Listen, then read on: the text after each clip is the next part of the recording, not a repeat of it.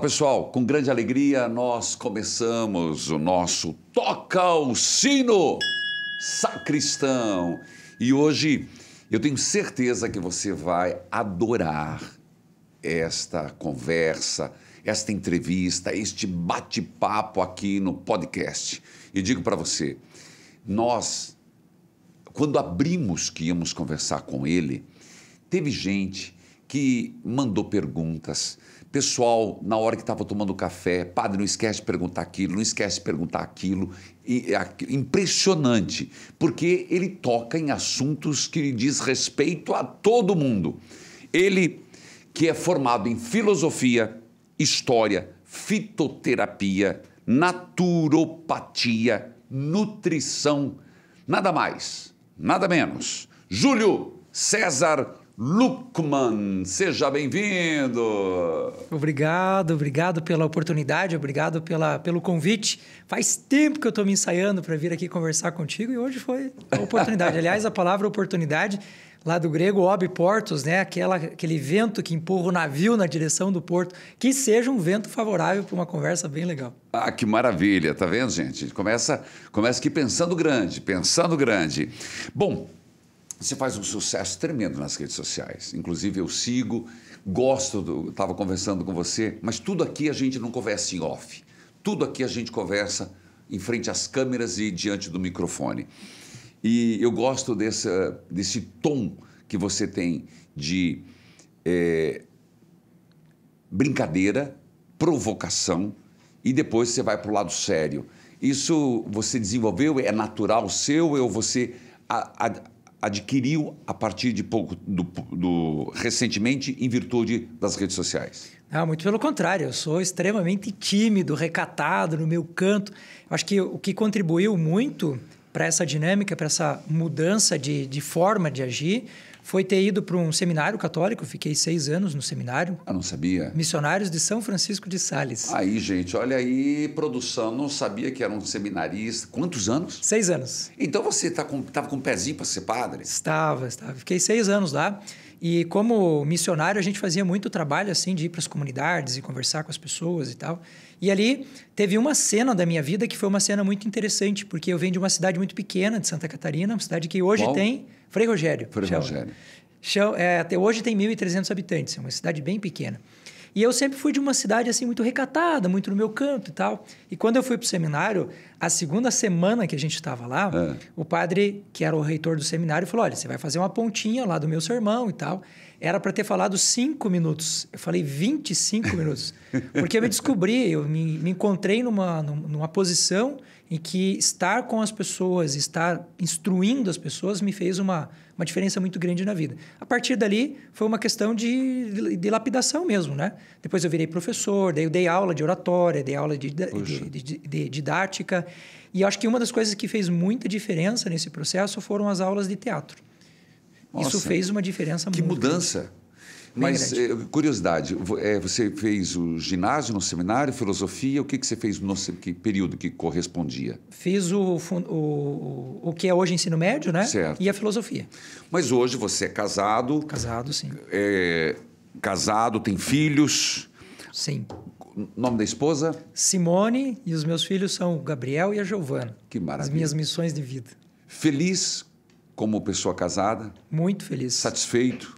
Muito. Quando a gente conta que eu tô casado há 20 anos, né? Ah, tá. Quando a gente conta nas rodas de, de conversa ou nos cursos de noivo, a gente conta que em 20 anos nós tivemos duas discussões de grande porte, de sentar e realmente as pessoas falam, mas só DR, duas. de DR É, mesmo. Só duas, é só duas. O casamento, realmente, eu não posso falar absolutamente nada que não seja benéfico. A gente tem os probleminhas do dia a dia, Claro. as encrencas, né? Mas, assim, muito bem casado. Os meus filhos, o Gabriel hoje já com 17 anos, a Giovana com 15 anos. Então, os dois encaminhados na vida. Então, uma graça mesmo. Muito bem, tá aí, gente, ó, uma história bonita e muito bem realizado como, como homem casado e duas brigas. Isso é um exemplo para muitos casais que vivem num pé de guerra ali, gente. Aí, ó. É possível ser feliz no casamento. Você acha que é possível? Totalmente. Você é feliz? Assino embaixo com gênero, número e grau. Tenha dúvida disso. Bom, E a gente vai conversar de tudo um pouco. Né? Eu tenho muitas perguntas. Inclusive, eu queria te oferecer, se você quiser, você tem aqui castanhas e você tem esse docinho maravilhoso que você gosta, né? Não vai rolar. Não. Agradeço. É muito lindo, olha, bonitinho. Talvez para fazer barulho assim, ó. Mas para comer, sem chance. E então, eu já começo por esse assunto. O açúcar você tem combatido veementemente. Por Sim. quê?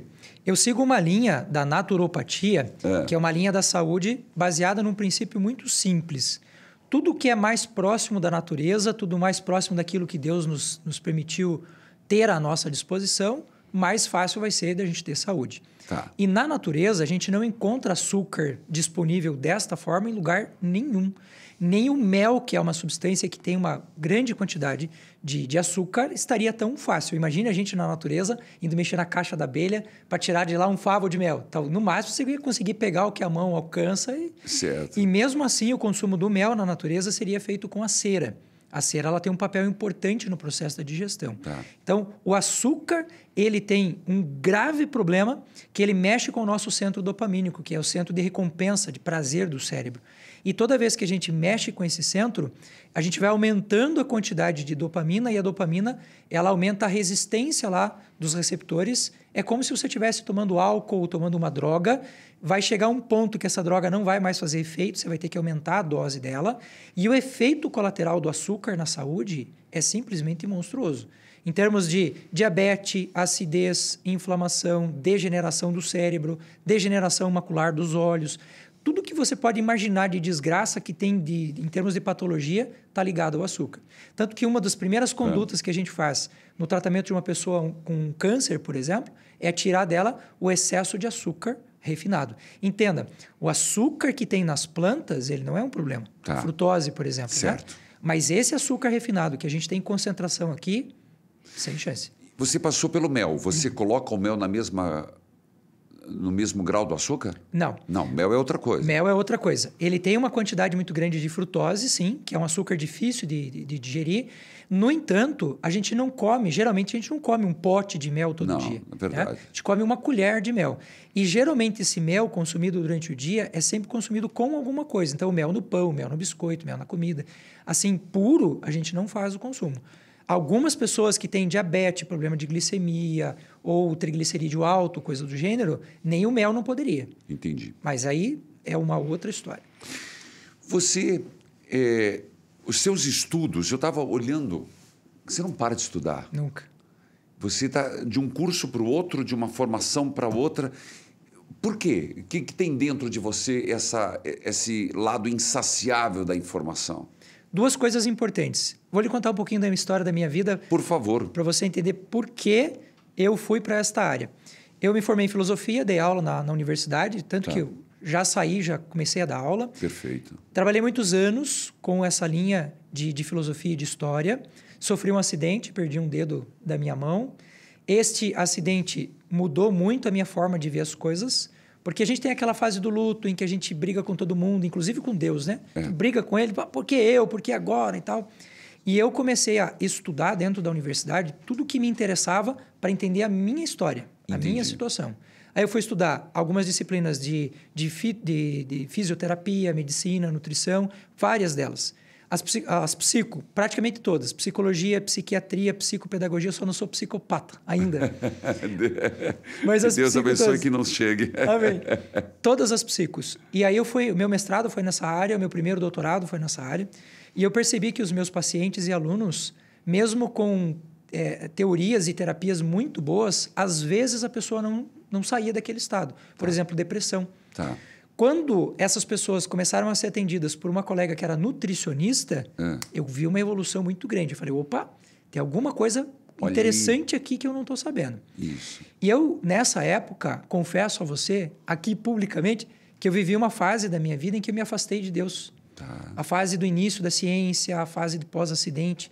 E eu estava estudando no microscópio uma célula do cérebro que a gente trabalha muito com um hormônio chamado GABA, um neurotransmissor, tá. que faz a conexão entre os, os, os neurônios. E era uma sexta-feira de tarde. Tá. Eu estava olhando no microscópio e eu vi uma luz muito forte no microscópio. Eu imaginei que estivesse cansado. Saí, voltei, fui olhar de novo pela segunda vez. Na terceira vez que aconteceu de novo, eu fechei os olhos e simplesmente me coloquei em estado meditativo. E eu escutei o que eu quero crer que seja a voz do Espírito Santo me dizendo: Eu não quero você aqui dentro do laboratório. Eu quero você lá fora. Eu quero você cheirando a povo. Eu quero ver você rolando com o povo. E a partir daí, eu comecei todo um trabalho de palestra gratuita, de curso gratuito e as redes sociais. Aí eu vou responder a pergunta que você me fez. Sim. Por que estudar tanto? Porque eu acho que esse período de vida que Deus me permitiu viver, eu preciso aproveitar ele ao máximo para conseguir entender o máximo possível para ajudar o máximo possível as pessoas. Essa é a primeira questão. Tá. Segunda questão. Quando a gente vai para as redes sociais, e tu entende bem disso também, a nossa capacidade de renovação ela é limitada. Certo. Então, se eu não aprendo constantemente, a nossa conversa fica pobre. Fica. Você começa a se verdade. tornar repetitivo, né? E aí entra a questão também do gosto, da formação de um bom hábito de estudo, e aí não paro mais. Já estou na terceira graduação, sexta pós, mestrado, dois doutorados, enfim. né? Que maravilha, que maravilha perceber que o que você está fazendo tem um propósito, ajudar as pessoas. E o, que aconteceu com o teu acidente? Que acidente que foi? A minha família é a família toda de marceneiros, tanto que quando eu cheguei, a primeira coisa que já me chamou a atenção foi a mesa, né? Lindíssima, né? É lindíssima, uma, uma madeira muito bonita. Eu não vivo disto, mas é difícil tirar isso da essência da gente, né? E eu gosto muito de fazer trabalhos assim em casa, finais de semana e tal. E foi numa máquina de marcenaria que Ah, entendi. A perda deste dedo foi um start, um gatilho que te abriu para um- uma outra pessoa, um outro César. um outro universo completamente diferente. Eu sempre costumo dizer para os meus pacientes e alunos que às vezes as desgraças acontecem na nossa vida não sem motivo. Ela tem um porquê ali. Ela- se a gente parar para olhar, como diz um- um- uma frase que eu tenho no meu último livro, que diz assim: para uma mente humilde, até um- uma agressão física, uma agressão verbal pode ser uma oportunidade de evolução, né? E eu entendi desta forma. Eu lembro que no dia do acidente, é, quando me dei conta, né, que estava sem os meus dedos, na verdade sem osso, porque Por pegou quê? três, né? Ah. As duas coisas que eu disse no momento do acidente, eu me dar conta disso foi: a primeira, nossa senhora. A segunda foi: meu Deus, eu nunca mais vou tocar violão na vida. Ah. Seminarista que não toca violão, que não canta, que não toca um paneirinho, ele não passou pelo seminário. Boa! Não andou de Kombi, não passou pelo seminário. Toca o sino, sacristão. Gostei dessa, viu? Não tinha me dado conta que é verdade. É verdade. É igual esses dias disseram, o padre que não, que não sai, que não se ordena e não, não tem um CD embaixo do braço, não é padre. É, são os, os tempos atuais. Eu aprendi a dirigir numa Kombi, viu? Com aquela folga tenebrosa. Que você fazia assim, ia para a direita, fazia assim, ia para a esquerda. Tinha que estar jogando o volante para um lado e para o outro. assim. É verdade. Bom, é, e aí você foi estudar e você descobriu muita coisa que foi essa observação, que não foi algo empírico, foi mais algo que você acabou intuindo. Uma pessoa que estava doente, quando ia para a área da nutrição, ela podia evoluir. Então, o que comemos é, é, é importante, ele faz a diferença na nossa saúde mental, emocional, física. Totalmente. Se a gente imaginar que tudo que existe de biológico no seu corpo, até, o, até os pelinhos, tudo é construído a partir de duas coisas. Da programação genética que a gente tem. Se não tiver programação genética, não tem construção. Certo. E a partir da matéria-prima que entra no nosso corpo biológico, na nossa alimentação. Por que, que a naturopatia é tão interessante nesse, desse ponto de vista? Cada gene nosso, cada célula, imagine o projeto Genoma, que foi um projeto super legal. Eles queriam saber quantas células o ser humano tinha no corpo e quantos genes tinha lá dentro. Por quê? Porque cada gene programa uma ação no nosso corpo. E eles descobriram que o ser humano tem cerca de 30 trilhões de células. E cada célula tem em torno de 20.500 genes. Então, nós temos 20.500 possibilidades de lidar com coisas na nossa vida. Tá. Agora, essa programação genética sem matéria-prima é como um construtor, um pedreiro que não tem pedra, que não tem cimento, que não Entendi. tem nada. Então, a nutrição, ela permite a gente construir este corpo e eu sempre digo que Deus é perfeito naquilo que ele faz. A gente tem mais que se colocar numa, numa condição de entender do que querer descobrir, inventar coisas, né? Que na natureza nós temos a solução para a maior parte dos problemas de saúde que a gente tem. Por exemplo, Nós, antes de 1500, 1200, mais ou menos, a gente não tinha cárie no dente. Aí apareceu o açúcar, ah. começou a aparecer a cárie no dente. O que, que a gente fez? Alterou a natureza. Começou a buscar em excesso uma coisa que deveria ser algo mais simples, que é comer uma fruta ou coisa do gênero. Então, a nutrição, e hoje a nutrição clínica especificamente, ela se, ela se vale muito desse processo de entender qual é a sua programação genética, o que está errado e o que está correto dentro desse processo, para que a gente possa corrigir. Exemplo nosso, brasileiro. 92% da população brasileira está com níveis de vitamina D abaixo do mínimo, que são Sério? 20 nanogramas. E o que, que Deus ofereceu para a gente? Sol. Ofereceu para a gente alimentação que tem muita vitamina D. Na natureza, a gente não baixa a nossa vitamina D de 60. Ah. Os bichos que têm vitamina D como a gente, eles não baixam de 60. O que, que a gente vê hoje no mundo? A gente vê as pessoas falando que o sol é um monstro, que a gente é, fazer suplementação não é necessário, que a alimentação boa é alimentação que tem açúcar, que tem corante, que tem conservante. Então, a nutrição é a base de tudo. Entendi. E o que, que a gente percebe hoje na neurociência em relação a isso? Das patologias como depressão, ansiedade, esgotamento nervoso, processos neurodegenerativos. Se a gente observar essas quatro que eu citei agora, é. se fizer um trabalho psicológico, psiquiátrico, sem fazer o nutricional, você está jogando dinheiro fora. Entendi. Só para esclarecer, porque nós estamos falando com pessoas que conhecem os termos, outros que não. Perfeito. Você me ajudaria só é, explicar o que é fitoterapia, o que é neurociência, para que a gente possa, a pessoa que está nos acompanhando nesse podcast, ela possa ir formando, porque às vezes a gente vai falar um termo que a pessoa não conhece. Vamos começar pela fitoterapia. O que é fitoterapia para você? A fitoterapia é uma área do conhecimento que estuda tudo que vem de plantas medicinais tá. e de tudo que é vegetal de uma forma geral. Então, um exemplo. Uma pessoa tem uma dor muito grande na articulação. Tá. Essa dor é causada geralmente por uma inflamação ou por um processo que está degradando aquela cartilagem. Hoje a gente tem na, na, na natureza um fitoterápico à base de canela de velho. Canela de velho tem uma história interessante, porque esses dias um, um rapaz me mandou uma mensagem no é. Instagram e ele falou: ó, estou com dor na articulação do meu pé. E eu respondi, porque é muita mensagem, 4, 5 mil mensagens por dia. e eu respondi para ele: usa canela de velho. E ele achou que eu estava xingando ele. ah, minha canela não é velha, nada, não sei o quê. Não, é uma planta. Canela uma de velho planta. é uma planta. E ela tem uma ação antioxidante que diminui a inflamação. Simples assim.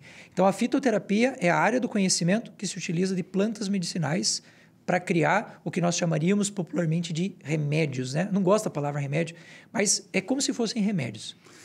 Aí está certo. E você acredita nas plantas? Muito. Inclusive, Muito. não, você tem livros, eu sei. Eu, eu estou dizendo, tem, a nossa avó estava certo a história do chazinho. Chazinho! Provoquei! Chazinho!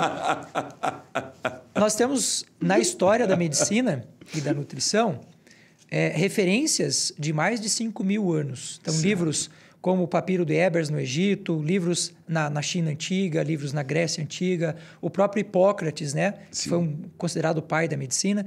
E todos eles usavam essa base da fitoterapia. Então, certo. Pelo menos 3 mil a 5 mil anos de história a gente tem. A farmacologia moderna, que é aquela que usa o elemento químico que não tem na natureza para patentear aquele elemento, para só aquela indústria vender, nós temos menos de um século. Certo. Só que nesse um século, a gente tem uma, um, um processo de marketing tão grande, tão ferrenho, tão monstruoso, que con convenceu as pessoas de que aquilo que a gente usa há 5 mil anos, eu quero crer que é muito mais, não é bom para a gente. Entendi. Então, eu fui muito para a fitoterapia justamente por essa proximidade do corpo humano com aquilo que é natural, a nossa farmácia divina, né? Antes de, de irmos para a neurociência e explicação, é só explicar. É porque o Dr. César, ele é contra essa ideia do chazinho, porque se diz tudo que é diminutivo é depreciativo, não é? Exatamente. É, seria o equivalente a gente falar assim: ah, vou comer uma comidinha, vou ter um sucessozinho, vou comprar meu carrinho. Eu sempre falo isso para as pessoas: não fala meu carrinho, minha casinha. Você está diminuindo uma coisa que é. é. fruto do teu trabalho, é fruto do teu esforço. Você tem que falar o meu carrão, mesmo que seja um carro simples. É o meu carrão, é a minha casa. E o chá não é diferente, né? As pessoas falam, tem uma plantinha medicinal, tem um chazinho. Não tem. Não tem. Se tivesse, não te dava. Ponto. Que é exatamente para criar esse movimento, né? De respeito às plantas. Neurociência, para que as pessoas comecem a, a nos entender depois na conversa. A neurociência é uma área que estuda todo o funcionamento do cérebro e tudo que leva esse cérebro a funcionar melhor, tá. inclusive a parte de nutrição. A diferença de uma neurociência para uma neurologia é que o neurologista ele está olhando para a estrutura do cérebro, ele está pensando em termos de cirurgia, de funcionamento daquela área em específico, mas é muito mais voltado para a medicina. Então, a neurologia interessa para quem? para o médico. A neurociência interessa para quem? Para todo mundo. Para você, para mim, para uma pessoa que nunca foi para a escola e quiser escutar um vídeo sobre neurociência, ele pode, tem problema nenhum. Nós temos um outro que você também usa muito na sua, nas suas exposições, naturopatia, que a palavra já explica, mas só para contextualizarmos nosso ouvinte e telespectador. Patós, lá do grego, significa doença, ou estar doente, né? Inclusive, tem aí uma questão interessantíssima que leva a gente a pensar sobre o amor.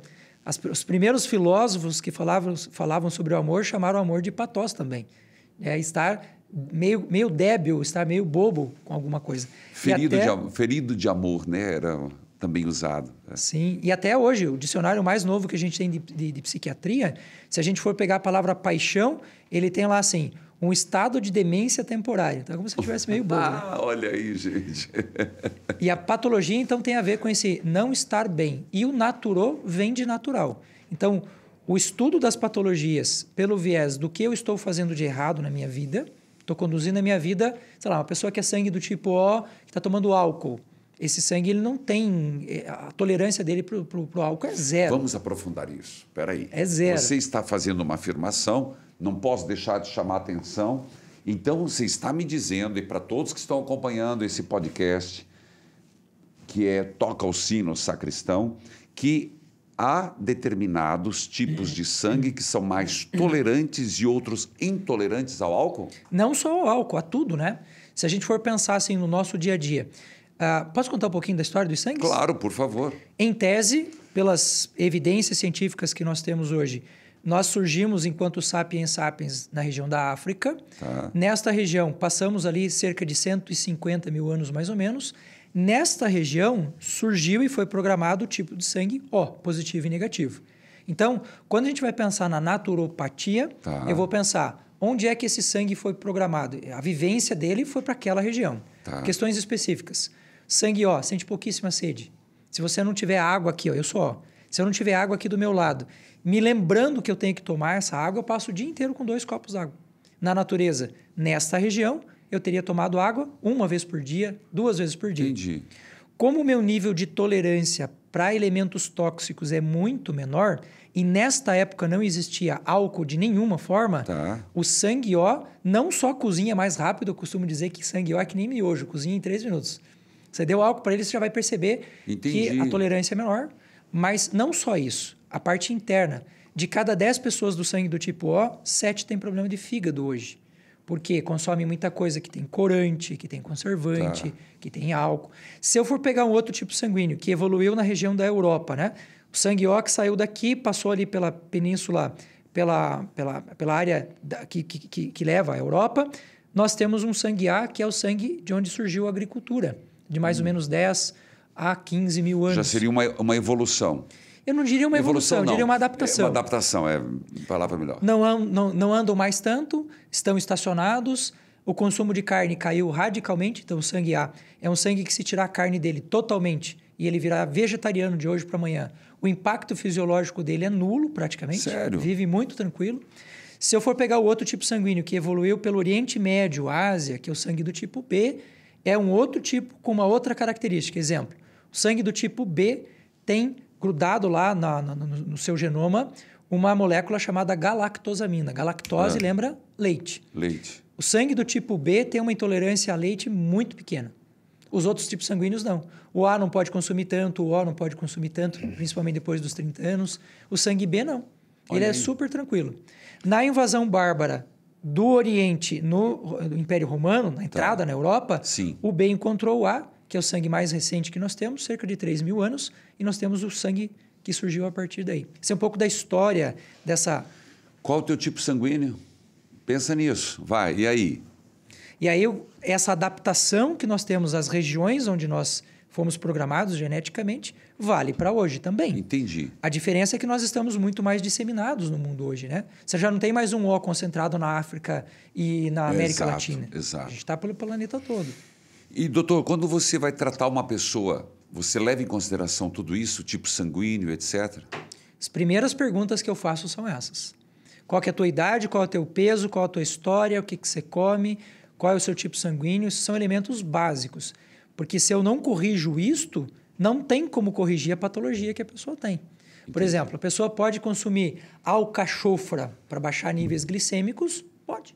A alcachofra é fantástica. Ela é ótima para diabetes, ela é ótima para glicemia. Agora, imagine que a pessoa continua comendo uma coisa que ela não pode. Um sangue A continua tomando leite depois dos 30 anos. Entendi. Infelizmente, ela não tem milagre nesse tipo de coisa. Né? Muito interessante. E isso você foi descobrindo com tantos estudos que você foi. Na verdade, você, pelo que eu estou percebendo, você pegou informações de uma área, de outra área, e aí que entra a, a tua magnitude, entra a tua contribuição, que é você conseguir juntar essa, esse quebra-cabeça e ser quem é hoje nessa Sim. contribuição com as pessoas, é isso? A gente chama essa área de saúde integral sistêmica. Integral por quê? Porque eu estou olhando para o ser humano de uma forma integral, ou seja, o que você come tem impacto na sua articulação, o que, que você faz na sua vida, e ela é sistêmica porque o ser humano não está desconectado do planeta dele. Certo. Eu acho que a gente perdeu um pouco da nossa humildade a, ao longo do tempo, porque nós nos colocamos como seres mais inteligentes, nós nos colocamos como seres mais desenvolvidos e esquecemos que a nossa biologia está conectada a esse planeta. Exemplo, bem simples. Vai. A nossa lua, o impacto que a lua tem no humor das pessoas, até para você fazer um processo de, de desverminar uma pessoa. Vou usar um, um, um remédio ali para desverminar essa pessoa. Tá. Se eu fizer na lua errada, o impacto é menor. Engraçado que os antigos diziam, hum, é, os antigos, e não é tão antigo assim, não cortavam o cabelo em determinada lua. Uhum. E tinha que estar tá lua crescente, tinha que estar. Tá, então, eles não estavam errados. Não, muito pelo contrário. Existe um estudo científico que deu, rendeu o prêmio Nobel de Economia para um cara chamado Daniel Kahneman. Conte, por favor. Esse cara, ele descobriu, ele como bom economista, que quando abria a bolsa lá nos Estados Unidos e o dia estava frio, o comportamento das pessoas era de um jeito. É. Quando a bolsa abria e o dia estava, por exemplo, numa quarta-feira ensolarada, o comportamento das pessoas era diferente. E ele falou: será que esse negócio de ambiente tem impacto na vida? E os estudos dele levaram ao que hoje na neurociência nós chamamos de cronotipo positivo, negativo e neutro. Hum. O que é o cronotipo positivo? Pessoas que reagem muito bem à luz. Meu caso, eu sou é. cronotipo negativo. Por que, que eu gosto de morar em Curitiba? Porque é frio, porque aqui passa boa parte do tempo fechado, eu produzo mais à noite do que produzo de manhã. Tá. Então, o meu cronotipo, ele se encaixa no contexto que eu estou hoje. Tanto que eu sou de Santa Catarina, mas moro no Paraná. Entendi. Que escolhi estar aqui. E algumas pessoas têm exatamente o inverso. Meu caso, quando eu fui morar na praia. Eu fui um ano morar na praia. Foi a pior experiência da minha vida. Sério? Calor, a maresia eu todo dia. Eu não gosto mesmo também. Agora que estou me dando conta que eu não gosto daquele sol estralado, que você fecha os olhos, aquela coisa inquietante. Uhum. Então, isso é cronotipo negativo. Olha aí. Que é uma reação a esse, esse, esse estado que a gente está. E a Lua ela tem uma participação é. interessante nessa, nessa questão, porque a gente entra na Lua cheia, por exemplo. Tá. Lua cheia no verão, a gente tem o pico da luz, é onde eu menos tenho produtividade. Eu tenho 20 livros escritos. Ah, os meus livros sempre são lançados no inverno. Quase sempre são lançados no inverno. Porque é onde eu tenho menos luz, onde eu tenho a, minha adaptação é melhor e a minha produtividade escala. Júlio César, você não acha que se as pessoas conhecessem, tivessem acesso a essas informações, elas viveriam melhor? Porque você vê, tem- da mesma forma que você gosta de viver em Curitiba, eu também gosto. Eu gosto deste lusco-fusco, eu gosto desses dias que a gente chama de sombrios. Mas quem não gosta, se ela soubesse, ela faria outra opção, ela não moraria aqui. Não seria isso? Ou até uma própria adaptação mesmo, né? Por exemplo, tem um, um estudo muito legal, muito bonito, que mostra que um hospital, eles pegaram um hospital, imagine toda a extensão do hospital, Tá. e na, no, no L do hospital, esta região do L do hospital não pegava luz. E eles perceberam que nesta região onde o sol nascia, passava durante o dia, a- o tempo de internamento das pessoas era menor. Porque antigamente se dizia: casa que entra sol não entra médico. Porque o sol controla tudo, controla a bactéria, controla Entendi. energia. E as pessoas que têm esses cronotipos, eles poderiam fazer o que eu faço, adaptação. Num dia que está muito quente, muito calor, eu não me exponho tanto ao sol. Na maior parte do tempo eu estou feliz, mas naquele tempo em que eu não estou feliz, eu estou adaptado mentalmente. Porque o estresse, e isso é muito comum da gente pegar, por exemplo, as pessoas morando em Curitiba. Ah, eu odeio o clima, eu odeio É. o frio e tal. Esse estresse, ele é tão degenerativo, ele é tão ruim para o nosso corpo, quanto a pessoa está comendo ou usando uma droga, por exemplo. Só para se ter uma ideia, um evento de estresse, um evento de nervosismo que faz a gente ativar o sistema de defesa, o corpo leva de 7 a 10 dias para voltar ao normal. Meu Deus, então eu tô, É muita coisa.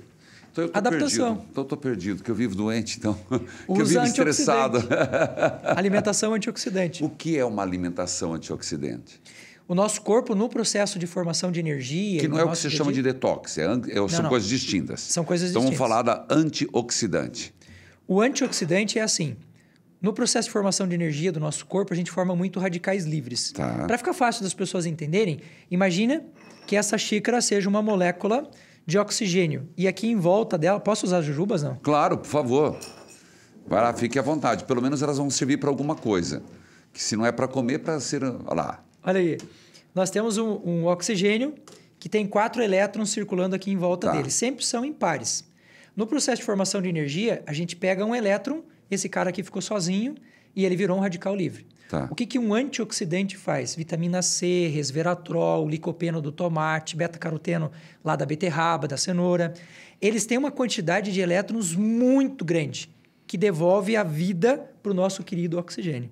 Tá. Ele, como sendo um anti pensa na palavra oxidação vem de oxigênio. Então, nesse processo, a gente devolve a vida para essa molécula. Então, Tá. a gente combate radicais livres. Para se ter uma ideia, o nosso DNA, o nosso cromossomo, ele tem uma pontinha. Lembra do cromossomo da aula de biologia que a professora fazia um X assim? Sim, E sim. ela explicava, ah, esse Xzinho aqui é o cromossomo. Lá na pontinha do cromossomo, a gente tem uma estrutura chamada telômero, que é o nosso relógio biológico. A cada vez que essa célula se replica, o telômero encurta um pouquinho. Então a gente sabe quanto tempo de vida o ser humano tem de programação: 124 anos. Por que, que as pessoas não vivem 124 É, anos? Por que não? Porque a gente fica torrando a nossa vida com coisas que vão queimando as nossas reservas. O que, que eu digo muito para os jovens hoje, né? Um menino de 20 anos, um menino de 18 anos, que toma todas, que arrebenta de, ah, vou tomar todas no final de semana. E usa isto como uma ideia de estou aproveitando a, A vida. vida. Isto não é aproveitar a vida. Isto não é aproveitar a vida, isto é destruir a vida. Atenção sobre a questão do uso do álcool. Isto não é aproveitar a vida. Eu vou te dar uma referência para você pensar duas vezes antes de encher a cara de novo e achar que isso é aproveitar Tá. a vida. Nós temos 86 bilhões de neurônios no nosso sistema nervoso. Perfeito. Uma única noite em que você tomou um porre, a gente gasta entre 300 e 700 mil neurônios. Caramba, Você pode imaginar o que é isso todo final Que de semana ao longo de uma vida? que estrago. é muito grande. Um cigarrinho de maconha, a pessoa fala: ah, vou aproveitar a vida porque Eu ia essa droga perguntar é. isso, porque agora está uma onda dizendo que não, a maconha não queima neurônios. Queima. Então vamos Mais lá. do que o álcool. Atenção, gente. Vai lá, atenção. Queima. Eu estava na universidade esses dias, ano passado, Tá. e uns jovens entraram lá, na- bateram na porta e falaram: professor, a gente pode falar um pouquinho sobre a liberalização da maconha? Eu falei: pode. Eu te deixo falar cinco minutos se você me deixar falar cinco minutos antes. Tá. Todas as substâncias que contém na maconha, mais a acrilamida, que é uma substância tóxica, formada a partir da queima dessa erva, mata entre 400 e 800 mil neurônios num único cigarro. Então não me venha com essa história de que não faz mais mal. O fato é que terminou a minha fala, eles falaram, professor, obrigado, a gente não, precisa, não quer mais falar nada, foram embora. Porque não existe inofensivo. Bateram na porta errada. Mas, e Verosa, aquela? Bebê de leve. Depende. Esse bebê de leve, ele tem que ter um cuidado muito Que você grande. fala numa das redes sociais, você fala sobre isso. Quando a gente é, flexibiliza alguma coisa, como ah, só uma tacinha, só uma jujubinha de vez em quando, na verdade isso cria um hábito mental e esse hábito é muito difícil de ser tirado. Então, de fato, o consumo de uma taça de vinho tinto no almoço, depois de comer uma proteína, nunca com o estômago vazio, realmente tem um impacto benéfico no corpo. Tem tanino, tem antioxidante, tem uma série de coisas que são benéficas. É, é benéfico? Sim. Agora eu quero que você me diga quem é que consegue parar na tacinha. É. É muito E difícil. tem que ser no almoço? Tem que ser no almoço. Ah, mas não dá certo. Como é que eu vou tomar no almoço, gente do céu? A tarde toda para trabalhar e quem fica. Então, à noite pode, desde que seja, depende do tipo sanguíneo, Claro. uma a duas vezes na semana, mais ou menos uma tacinha mesmo Entendi. de vinho, e que seja sempre acompanhado de comida e água, um diluente. Porque aí a gente não tem impactos tão significativos no sentido negativo. Entendi. Agora, consumiu o vinho, por exemplo, que é uma bebida fantástica. Não estou falando mal do vinho. Não, não, né? perfeito. Nem do chopp, nem da cerveja. Eles têm a sua função. Mas bebidos de estômago vazio, no horário errado, não tem milagre. A longo prazo, ele vai custar. É, é você estar entregando a tua vida Entendi. em fatias pequenas. É, é impressionante isso. E eu queria falar do pó branco. Realmente, o pó branco, e aqui acho que todo mundo sabe do que eu estou falando, faz um estrago imenso? Faz muito grande. Por quê? E ele é irreversível. Irreversível. O que, que acontece? Pode falar o nome da droga, não? Pode, claro. A cocaína ou a, tudo que tem ina, né? É. Cocaína, a própria morfina que é usada nos hospitais, a, tudo que tem ina no nome vai fazer a gente liberar uma quantidade de hormônio muito grande, como é o caso da dopamina. A dopamina em grande quantidade no cérebro causa dois grandes problemas. Primeiro, uma resistência muito grande do cérebro que leva a gente ao desenvolvimento de Alzheimer. Isso a gente já tem claro na ciência hoje, Você está falando da dopamina. dopamina, a aquela que é dopa- boa. É, eu- eu- exato. Tudo que é bom no nosso corpo é aquilo que é dosado. Tá. Se eu vou em excesso, é insulina é a mesma Tá, coisa. Então vamos lá, pode continuar o raciocínio. Aqui, agora me me atiçou, vai lá. Boa. E a quantidade de dopamina muito alta no cérebro faz com que esse cérebro comece a ter problemas, ele começa literalmente a queimar neurônio. Tá. Como o neurônio não nasce de novo em algumas áreas do cérebro, queimou, tchau, foi embora. Só para tu ter uma ideia, um cérebro adulto pesa em torno de 1,3 kg, mais ou menos. O cérebro de uma pessoa que usa crack, cocaína, a gente tem é, registros de pessoas com o cérebro pesando 700 gramas. Gente, atenção, pelo amor de Deus, rapaz, não sabia Para disso. com isso, né? Não, o que, que é isso? Você está me dizendo que o uso dessas coisas, álcool também, Álcool também. é, crack, Pior ainda. pior ainda. O oxi, pior ainda. E, e, e essas balinhas, moçada, moçada, acorda, essas balinhas que o pessoal põe. Mesma coisa. Quer dizer que o, o cérebro, ele diminui A quantidade de neurônios. a quantidade e a massa. Sim. E essa diminuição da massa, às vezes, ela é compensada por gordura. 90% do nosso cérebro é ômega, né? Então, quando a gente tem uma, uma, uma alimentação boa, a gente percebe essa variação de peso do cérebro conforme aquilo que você come. Tá. Imagina uma pessoa que não tem nutrição, ele só tem álcool no dia, de, dia a Tá. dia dele. O álcool, ele tem caloria, então ele sustenta, literalmente, a gente falava no interior isso, né? Ah, o álcool sustenta Sustenta, é verdade. Gente, todo mundo fala, e é verdade, desculpa interromper, uma, uma- um copo, não, uma- uma- um copo de cerveja é um pão francês que você come. É. No sentido de caloria, Sim. não é verdade? Sim. Na Então, você tem força para tocar, mas... Como a gente só tem energia e não tem estrutura que sustente essa energia, você vai começar a consumir musculatura, consumir a massa óssea Tá. e vai consumir massa encefálica, porque gordura é uma das fontes de energia do nosso corpo, assim como a glicose também é. Então, a pessoa que bebe, a pessoa que usa, a- até mesmo o cigarro tem impacto nisso, apesar de não ser tão grande, mas tem impacto nisso também. E as drogas, de uma maneira geral, diminuem a quantidade de neurônios de uma maneira assim muito preocupante. E o duro é que neurônio não cresce de novo, não aí. nasce. Não existe neurogênese no cérebro todo. Né? Olha aí, gente, a informação. E, e nesse tempo de internet está tendo muita desinformação. Né? Então você, agora vou tocar numa questão ética moral. Você é contra a liberação das drogas? Totalmente. Totalmente. Por estas razões. E teria outras ainda? Muitas mais, né? Eu sempre digo que a partir do momento em que você perdeu a sua linha de raciocínio, perdeu ah. a capacidade de comandar o seu cérebro, bota uma coisa na tua cabeça para você levar para a sua vida inteira. Se você não comanda a sua vida, alguém vai fazer isso por você. E sabe qual é a maior tragédia da vida de uma pessoa? Ah. É chegar ao final da vida, olhar para trás e perceber que ele foi um coadjuvante da própria vida, não o autor principal dela. Eu acho que isso é uma das coisas mais tristes que tem. Toca o sino, sacristão. Fortíssimo isso. Então você é contra. Totalmente. E por que você acha que eles estão facilitando a situação? Existe hoje um lobby muito grande de grandes indústrias interessadas na comercialização disso. O exemplo que nós temos hoje da própria maconha. Você tira da semente da maconha um óleo essencial, que é óleo hum. de, de cannabis. Isso. Quimicamente, ele é muito bom. E caríssimo, né? Caríssimo, mas aí que está o problema. Como isso é caríssimo, não tem como a gente comercializar isto por um preço menor, já que o custo de produção disso é muito alto. É. Uma liberalização flexibilizaria todas as regras que põem impostos sobre isso, que facilitam o trânsito disso de, pra, de, um, de um país para o outro. Então, há um lobby muito grande. E eu sempre falo para as pessoas assim: o protagonismo da nossa vida não pode ser feito por outra pessoa. Ele tem que ser feito por nós. Certo. O trabalho que a gente faz, o trabalho que eu faço, o trabalho que você faz nas redes sociais, de levar essa conscientização para fazer um, a, levar a pessoa ao processo da autonomia é para que ela possa decidir pela própria vida. O que a gente está vendo hoje é cada vez mais a gente está na mão de alguém.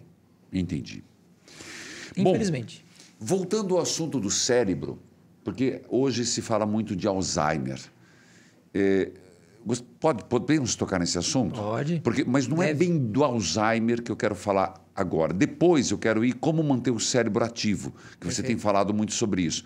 Mas sobre o Alzheimer, porque muita gente que está nos acompanhando tem algum familiar, alguém que teve, alguém que tem, e como lidar com este mal tão presente hoje? A primeira grande questão é uma adaptação da família à condição da pessoa que está com Alzheimer. Tá. Porque o que, que acontece? A gente já sabe hoje que regular a alimentação e regular o estilo de vida dessa pessoa faz uma bruta diferença. Atividade física. O nosso intestino produz uma substância chamada BDNF, fator neurotrófico derivado do cérebro. É ele que literalmente faz as ligações nervosas do cérebro se conectarem. Então, se o eu intestino. Tenho... É o intestino. Eu entendi certo. O intestino. Mas, mas pelo amor de Deus, o intestino é lá embaixo, só lá em cima. Olha que interessante. Quando dois gametas se, se juntam, né? Masculino com feminino, e forma a primeira célula, ah. ela começa a se dividir e a partir dali ela vai formando um tecido e esse tecido no 21 primeiro dia ele se fecha e forma o famoso tubo neural. Ah. A parte do ectoderma, que é a parte de fora desse tecido, forma três conjuntos no nosso corpo pele, intestino e cérebro. Ah. O cérebro está totalmente conectado com o intestino e o intestino totalmente conectado com a pele. Tanto que hoje um dos diagnósticos mais simples que a gente faz de uma doença intestinal é olhar para a pele da pessoa. Fala assim, estende a sua mão. Pela mão, pela cor da pele, pelas olheiras do rosto, tudo isso indica como está o intestino dele. Então tem uma conexão sim, Olha muito aí, grande. Que interessante. Mas então, voltando à questão do Alzheimer, é, alimentação, você disse. Isto. E há algo que se pode fazer como prevenção do Alzheimer? Sim. Se você tem um histórico. Primeiro, vamos começar com a pergunta. Já teve alguém na família com Alzheimer? É genético? Não necessariamente. Hoje a gente já sabe, olhando pelo viés da ciência, que ah, essas doenças ditas familiares, elas são muito mais pelo padrão alimentar e de vida daquela família do que por questões genéticas. Exemplo, minha família tem várias pessoas com diabetes. Tá. Eu fiz um mapeamento genético, que é um exame que a gente faz, e de fato tem dois genes lá que me predispõem a diabetes. Tá. Então isso é genético. Quantos por cento dos casos tem esse fundo genético? 4%. Ah. Ou seja, 96% de todos os problemas de saúde ligados a esse tipo de doença são comportamentais, não são genéticos. Mesmo aquele cara que tem o princípio genético. Hoje tem uma área da, da nutrição clínica que se chama nutrigenética, que faz o quê? Identifica o gene, identifica como aquele gene é ativado e silencia ele. Meu caso, eu tenho 43 anos, não tenho nada de calvície, minha família tem várias pessoas calvas, não tenho cabelo branco, não tenho um monte de coisa. Por quê? Porque eu uso o açafrão com a vitamina D. Açafrão, comidas que Sério? a gente usa no dia a dia. Ele silencia o gene da diabetes. Então existe um estudo, existe uma e você foi fez esse essa planilha, planilha não, essa como você chamou? Esse mapeamento. mapeamento. Sim. Qual é a área que cuida disso? A nutrigenética. Nutrigenética. Isso, que cuida da identificação e de, do, do silenciar este gene, né? Entendi. Ninguém é escravo da sua genética. O problema é que a pessoa tem uma predisposição, como é o caso da minha família. E a gente vai ver uma, uma, família de descendentes de alemães que adoram doce, que adoram uma banha de porco, que adoram uma fritura. Isto sem controle levou boa parte das pessoas da minha família 30, 40 anos desenvolverem diabetes. Entendi. Eu vou chegar aos 100 sem nada. Olha aí, toca o sino, sacristão. E, e esse mapeamento hoje, se alguém que está nos acompanhando no podcast, é, ele é algo absurdo ou é um, algo alcance de pessoas normais? É caro. Ele custa em torno de 3 mil reais para fazer. Entendi. Mas as pessoas não precisam fazer o mapeamento para entender isso. Se a gente fizer uma boa análise de família, um bom histórico familiar, já a gente já consegue Entendi. fazer isso. Esses dias me aconteceu uma, uma situação muito quase cômica, eu diria, né? Eu atendo na minha clínica e a minha agenda, como você pode supor, é extremamente fechada. E bateu na minha na porta da, da, da minha clínica uma senhora com 93 anos. E a minha secretária atendeu e ela falou assim: Eu vim conversar com o doutor Júlio. Eu falei: Tudo bem, mas tem que entrar na lista. Ela falou: Não, eu tenho 93 anos, eu tenho prioridade e eu quero. Como que eu vou dizer não para ela? Com certeza. Aí ela senta na minha sala, eu aquele dia sacrifiquei o meu almoço, falei: Eu vou atender ela. Ela veio aqui, 93 anos tal. E ela disse assim: Ó, eu assisti um vídeo seu no TikTok, pode imaginar? 93 anos. E ela falou: eu vi o senhor falando aquele vídeo dos 124 anos. Eu quero os meus 124 anos. Rapaz. É, foi cômico porque é engraçada a, a situação, mas há um fundo de verdade muito interessante. Porque ela, com 93 anos, ela veio caminhando da casa dela. Hum. Caminhando. Aí você vai investigar. Coisas que a gente nunca para para pensar. Se você pegar um antepassado teu que viveu 100 anos, sem conhecer ele, eu deduzo duas coisas dele ele fazia muita atividade física, tá. é, algumas coisas, mais de duas. Ele não dormia tarde. Tá. Ele não tomava banho todo dia com sabonete. Você fala, o quê? O quê? Sabonete e o banho? Vai me tirar o banho? Não. É que a vitamina D é um dos elementos que participam desta, desse tempo, dessa preservação do nosso genoma intacto para a gente viver muito tempo. O que, que a gente vê na sociedade hoje? Uma indústria que vende a ideia de saúde no banho quente todo dia, Isso. prolongado, com cloro, sabonete Isso. e esponja. Isso. Onde que a vitamina D é produzida no corpo? Embaixo da pele. Quando eu tomo um banho quente por muito tempo com sabonete e esfrego, a minha vitamina D está indo por onde? Ralo abaixo. Pelo ralo. Por isso que a gente tem uma quantidade tão grande de pessoas hoje com vitamina D baixa. Então tem Qual a questão é... genética, mas. Eu posso perguntar porque você é o doutor. Qual é a taxa normal de uma vitamina D? A gente trabalha com uma taxa ideal acima de 60 nanogramas. Tá. Então, eu vou medir lá o sangue de uma pessoa, ela precisa estar, assim, ó, pelo menos acima de 40. Tá. A margem que os laboratórios dão hoje é entre 20 e 60. Mas essa margem não é real. Por que não é real? Quem vai fazer o exame lá no laboratório para a gente colher aquele dado como base para fazer uma média? Quem está procurando já desconfiou que alguma coisa está errada. Então, a, a, quantidade de gente, de gente que vai fazer o exame e que está com aquela média abaixo da, do, do mínimo tá. é muito grande. Então, hoje a gente já trabalha com essa. Lá no, eu faço meu doutorado nos Estados Unidos, né? A gente já trabalha com a margem dentro da, da naturopatia, mantendo o cara acima de 60, que seria o máximo que, aqui, que a gente tem no Brasil hoje. Entendi. Sobre vitamina D. Tomar alguma, alguns remédios, suplementos, Sim. ou o senhor partiria para uma alimentação mais. ou os dois? Alimentação em primeiro lugar, sempre. Tá. O que Eu- nos dá vitamina D? Eu não acredito que a gente veio para esse mundo para arrastar corrente. Eu acho que a gente veio, a gente passa por períodos de sofrimento, que são períodos que nos, nos levam ao crescimento. Mas arrastar corrente a vida inteira não faz sentido. Certo. Eu vim para que todos tenham vida e, E vida em plenitude. Então, o que, que a gente fala muito hoje em relação à vitamina D? É uma vitamina, a gente chama de vitamina, mas ela é um hormônio, ela não é uma vitamina. Vitamina é aquilo que vem pronto de fora Tá. e hormônio que a gente produz. Tudo que tem gordura natural de boa qualidade ajuda a formar a vitamina D. Então, óleo de semente de uva, o Brasil é o maior produtor do mundo e a gente não sabe que a gente Semente tem de isso. uva. Você compra isso? Compra em qualquer lugar Sabia a um preço ridiculamente baixo. E põe onde? Põe na comida. Uma colher, põe na comida. Não tem Tá. gosto de nada, não tem cheiro de nada. Fica aí, ó. Ó a dica. Primeira dica. Segunda. Óleo semente de uva, tudo que tem ômegas na natureza. Então, castanhas, por exemplo. As castanhas, a amêndoa, o amendoim, a linhaça, Tá. a chia. Todas as sementes que têm óleos são ótimas. O peixe é ótimo, o fígado é ótimo. Tudo que tem ômega. E na alimentação, tudo aquilo que a gente consome que tem gordura ajuda a fazer isso junto. Segunda dica. Vai Gordura lá. boa. Boa. Gordura boa. Por exemplo, todo mundo mete o pau na, na banha do porco Isso. ela não necessariamente é uma gordura ruim. Ela é uma gordura que está lá, é uma fonte animal. A gente come o porco há milhares de anos. Verdade. Agora, se eu como uma quantidade exagerada, é óbvio que vai fazer mal. Claro, tudo exagerado faz mal, né? Ou em falta ou exagerado. Exato. E pegar sol, padre. Pegar sol. 15 minutos de sol todo santo dia pela madrugada não custa nada. O sol não é um monstro, o sol não é um inimigo. Quando você fala tomar sol, vamos lá. Atenção, dica, senhoras e senhores, é o quê? Vocês têm que levantar a mão. Desculpa, eu estou perguntando, porque aqui a gente vive com casaco. Mas estamos falando no, no- no- de modo geral. Como é que é esse tomar sol? Tem que tirar a camisa? Tem, Tem que.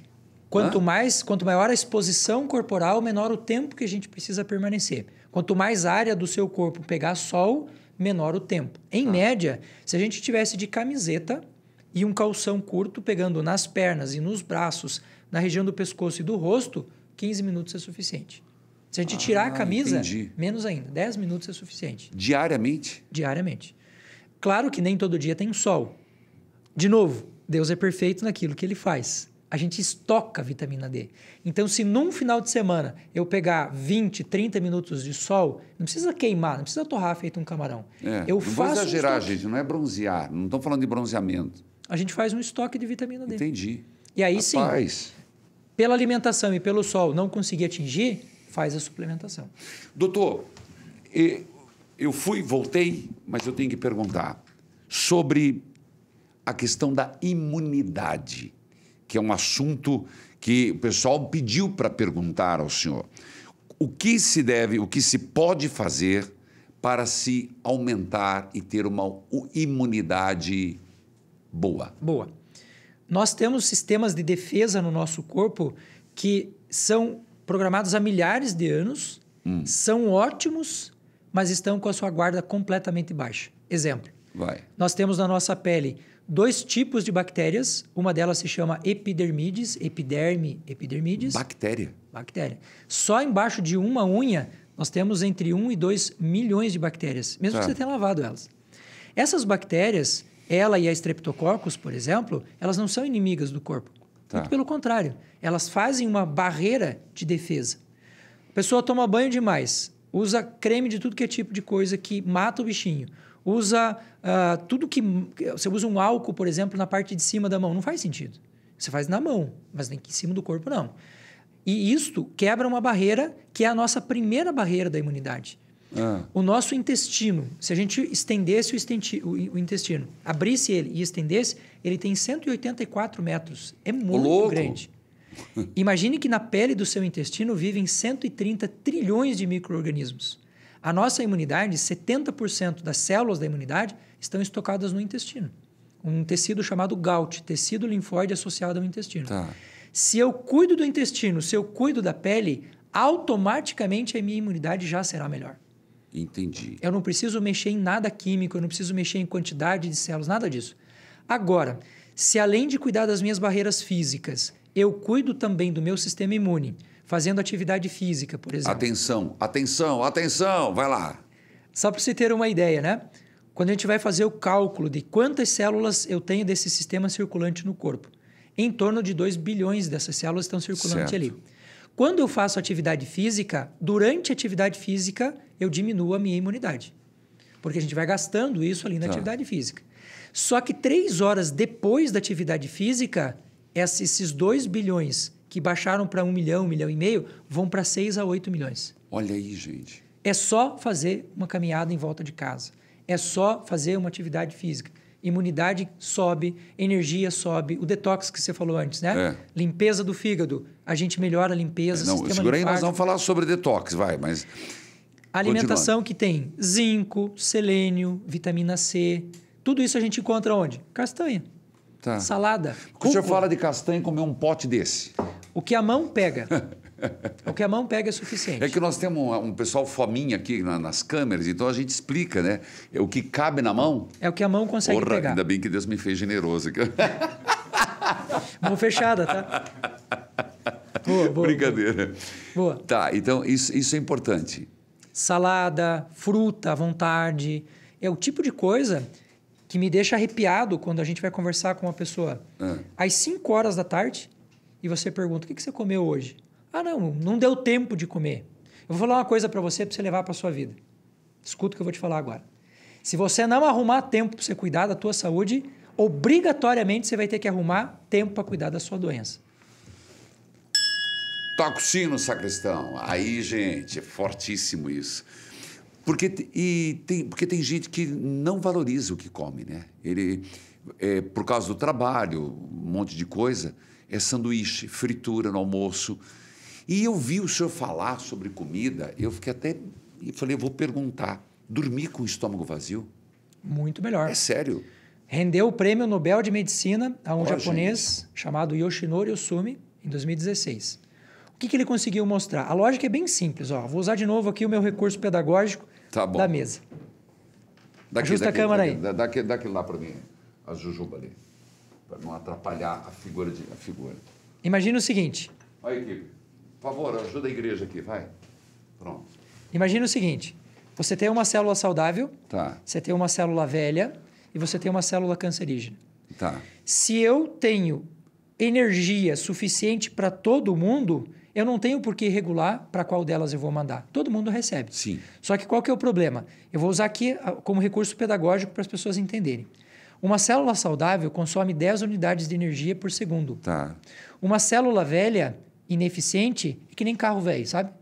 Consome mais combustível para fazer a mesma coisa. Verdade. Essa célula consome 30 unidades por segundo. A célula cancerígena consome entre 60 e 80 unidades. Tá. Então ela é muito mais gulosa. Se eu como à noite e eu forneço energia para todo mundo, as três vão continuar vivas. Se eu tiro a alimentação da noite ou eu trago, você não precisa passar fome.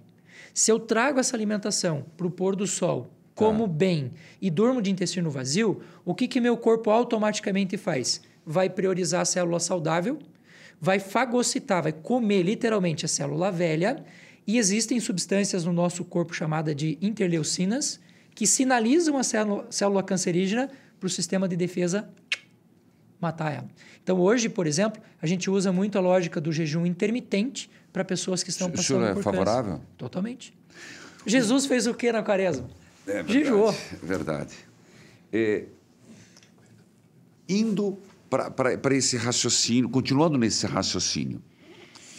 Então, o senhor está afirmando de diversas formas, de diversos exemplos, somos aquilo que comemos.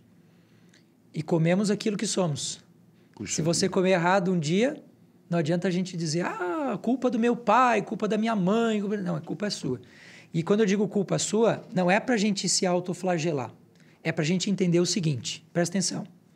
Se você aceitar a ideia de que aquilo que acontece com você tem a sua participação, você também vai aceitar a ideia de que mudar isso também depende de você e não de outra pessoa. Entendi. Doutor, é, falemos sobre o detox, que eu, eu não gosto de deixar nada no ar Perfeito. que não fica costurado. O senhor fala muito de, de- da importância de fazer um detox do fígado. Eu vou contar um fato. A pessoa, é, nós sabemos que o fígado hoje ele existe muito casos de cirrose medicamentosa. Sim. E nós percebemos que existe uma dependência, eu diria, da, da nossa geração por remédio. Tanto que eu fico impressionado. Você vai, eu vou dizer em volta do Guadalupe, mas eu viajo o Brasil inteiro. É um excesso de farmácia que é numa esquina e na outra esquina, só muda o nome, só muda a fachada. É, vamos falar um pouquinho sobre isso? Primeiro, a indústria do remédio e a dependência do remédio. O senhor percebe isso? Muito, de maneira muito clara e contundente. O meu sonho de vida é andar pela rua da minha casa e encontrar mais frutarias e casas de produto natural do que farmácia. Esse é o meu sonho de vida. Mas, infelizmente, hoje existe um lobby gigantesco para convencer as pessoas de que aquilo que é químico, aquilo que é artificial, é mais importante do que o que é natural. Mas isso é o interesse econômico. Claro. Com certeza, não é? Absoluta. Porque o que, que acontece? Eu vou te falar uma coisa aqui só para você entender e o público que está assistindo a gente entender.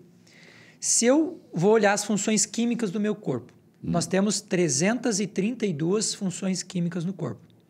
330 são mediadas por água e magnésio. Hum. Então, qual que é a importância do magnésio na nossa vida? Total. Aonde que a gente busca o magnésio? Na natureza. Tudo aquilo que vem da natureza pode ser patenteado por alguém? Não. Aí não tem interesse em estudos nessa linha. O que eu encaro muito hoje em relação à fitoterapia? Eu fiz um vídeo essa semana mostrando o poder curativo que a batata doce tem. Deixa eu aproveitar só um minutinho. Gosto de valorizar as pessoas que estão aqui. É, as redes sociais, equipe, vai colocando ali, por favor, no vídeo e seja abundante em citar, porque já que a pessoa vem, eu gosto de valorizar o esforço de cada um. Vai. Eu fiz um, um vídeo explicando o poder curativo cicatrizante da batata, batata doce. doce. Crua, de manhã cedo, crua. em casos de gastrite. Aí o que, que eu recebo nas minhas redes sociais? Um zilhão de pessoas dizendo isso não tem comprovação científica, isso não tem. Então o que, que a gente tem que entender? A ciência ela não é ruim, mas ela é um meio pelo qual a gente chega ao conhecimento, não único. Se ela fosse o único, filosofia, história, teologia, psiquiatria, psicologia, ia, ia tudo para o lado do lixo. É teologia. um meio. teologia. É um meio, uma forma de chegar ao conhecimento, não a única. E quando a gente não tem interesse por parte da indústria, porque ele não pode patentear aquilo, onde é que estão concentrados os estudos? Em tudo aquilo que é químico, que é fórmula Exato. única. Então a gente tem que tomar um cuidado grande com a ciência, sim não desprezar o conhecimento científico, pelo contrário, ele é importantíssimo, é também uma fonte de conhecimento que nos foi legada pelo próprio Criador, porém, contudo, entretanto, não é a única fonte. Então, quando eu digo que a batata doce faz bem, baseado em que, que a gente está fazendo isso? Em estudos populacionais, não científicos, em que, usando a batata doce, você percebe que a pessoa vai melhorando e que leva você a, a deduzir isso. A mesma coisa acontece com o alho, com a cebola. E aí uma coisa interessante em relação ao detox. O nosso fígado sozinho faz detox. Ah, é? Ele não precisa de nenhum ajudante. Se certo. você só comer certo e colocar no seu intestino uma quantidade boa de fibras, sozinho ele faz o detox. De novo intestino. De novo. O senhor gosta de falar do intestino. Estou brincando, brincadeiras à parte. Tudo lá. começa e termina lá. É. O intestino ele está preparado para processar cerca de 100 gramas de, de fibras por dia. A média brasileira é de 16 gramas. Aí eu te pergunto: adianta fazer um baita detox com medicação, com um monte de coisa, se eu não colocar uma fibra que carreie, que leve embora é. essa toxina? Não. O intestino capta de novo e redistribui para o corpo. Eu, eu, vou voltar um pouquinho e depois nós vamos avançar. É, sobre essa, esse perigo que eu percebo que as pessoas elas estão doentes no excesso de tomar remédio. Se toma remédio para tudo. Sim. E tem dado muitos casos de pessoas que estão com é, cirrose hepática, cirrose hepática e que é impressionante, porque em virtude do fígado estar danificado, ela começa a ter alucinação. Eu estou atendendo no rádio pessoas que, que impressionante, ela diz isso, mas ela, ela, ela fala sem ter consciência do que está falando. O senhor percebe isso? Sim, inclusive um dos, dos estágios do Alzheimer mais tristes que tem é. é quando o fígado da pessoa já não funciona mais e ela entra no estágio de alucinação e ela não volta mais. Então, esse estágio é muito triste da vida, Porque é um processo irreversível. Quando a gente causa fibrose lá no fígado, de um determinado ponto para trás a gente consegue reverter. O fígado é muito maleável. Mas virou fibrose, virou uma, uma, uma cirrose hepática não alcoólica já de grau 3, grau 4, ele não tem mais reversão. E o fígado, ele metaboliza tudo no corpo. Tá. O que vem do intestino passa por ele para ser distribuído para o corpo, e o que o corpo processa e é ruim passa por ele de volta para ser mandado embora. Doutor, falando de detox, atenção, senhoras e senhores. Dicas para fazer um detox natural. Você já falou que o Sim. organismo ele já faz um detox, né? Faz. Quando você manda é, comidas fibrosas. Me diga algumas comidas. Nós- existe muita gente aqui, é verdade, a gente, eu conheço, que vai adorar essa informação. Salada e frutas Saladas, as nossas... saladas, Sempre. frutas, Sempre com tem- casca, sem casca. Tudo com casca. Tudo que vier do jeito que a natureza mandou pra gente. A banana Claro, não, né? Bem, Apesar de que faz bem pra pele, né? Faz bem. Você anda assistindo os Eu, meus Tá vendo? Mas você acha que eu convidei porque eu sou, eu gosto demais do seu trabalho. Tá certo. Eu até me viram ali com um monte de casca de banana, ninguém entendeu o que, que é. Já tá explicado agora. Brincadeira. Isso aqui é maquiagem, pó, pó, pó de arroz, vai lá. Então, tudo que tem casca, as castanhas, tem muita fibra. Tá. E a gente encontra na natureza hoje muita casca de coisa que é jogada fora. Por exemplo, no, no- no tempo que eu vivi no interior, lá com os meus pais, a gente tinha lá o farelo de trigo que a gente Isso. tratava o porco. Isso, isso. Eu, eu fazia na minha, minha casa, nós, tínhamos- nós tínhamos cerealia- cerealista de arroz. Aham. Eu que tratava os porcos para engordar para o Natal, vai. Então, a casca do trigo, a casca da aveia, a casca do arroz, o psyllium, que é uma, uma, uma plantinha que parece com o trigo. Acrescentar isso na alimentação já ajuda muito. Gente, ó, vocês que vivem aí cheio de prisão de ventre, vive aí cheio de, de constipação, que vai no banheiro, não compra aquele sachezinho.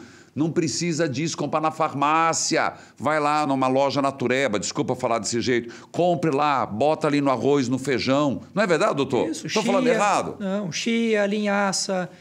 A gente usa muito é, grão que tem já vem com casca. Então, um arroz integral, um trigo integral, Tá. uma aveia integral. Tudo isso ajuda muito. Certo. Existem algumas coisas que a gente pode fazer que facilitam o detox. Vamos lá, gente. Cadê? Cadê o sininho? Atenção. Boa. Vinagre de maçã. Vinagre de maçã. Vinagre de maçã tem uma substância chamada aqui. ácido málico, que ela limpa o hepatócito. O hepatócito é a célula que a gente tem lá no fígado. Tá. O fígado se protege, ele não deixa a toxina embora. Então, quando a gente usa o vinagre de maçã, ele abre esse hepatócito, despeja essa toxina no intestino Tá. e a gente, com fibras, puxa isso embora. A própria maçã, a pessoa fala, ah, mas eu não gosto de, de, de vinagre de maçã. Coma maçã. Tá. Duas maçãs por dia, durante 20 dias. É ótimo. É um detox natural. Detox natural. Legal. Gengibre Com casca, faz sem casca, desculpa perguntar. Maçã? Ah, com casca, Com sim. casca. Com casca. É que eu não posso. Maçã faz isso, gengibre faz isso, Então, alcachofra faz isso. Deixa eu falar do gengibre. Hum. Eu tenho um irmão, senhor Antônio Carlos Manzotti, meu irmão mais velho, o podcast é meu, eu tenho o direito de falar. Ele é fissurado, e eu tenho certeza que depois eu vou fazer um recorte bonito para mandar para ele. Doutor, ele, senhor, o senhor acredita que ele me manda três vezes por semana mensagem? Você já comeu o gengibre de hoje? Você já comeu o gengibre de hoje? Porque ele sabe que eu estou com estado de inflamação e ele diz que. O que, que o senhor fala do gengibre? Depois eu vou voltar no, no assunto.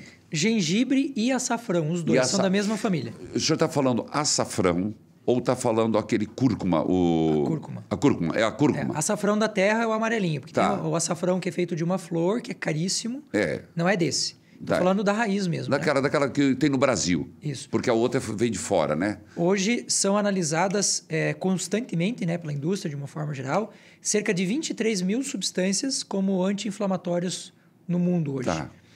A cúrcuma está há 15 anos no topo da escala. Olha aí, gente. Não há nada produzido pelo ser humano que se compara ao que a cúrcuma e o gengibre fazem em termos de anti-inflamatório. Qual é a maneira correta de usar? Aí, atenção, essa parte é é importantíssima. Uma colher de café Peraí. de, de cúrcuma. Maria, equipe, manda depois esse podcast para Maria que faz a comida lá em casa. Uma- Boa. Em meio copo de água morna.